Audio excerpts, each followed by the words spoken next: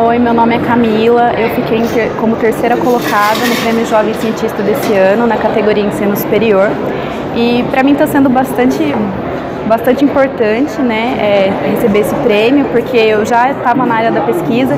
Isso serviu realmente como um incentivo para eu seguir nessa área e, e continuar, porque hoje eu faço mestrado.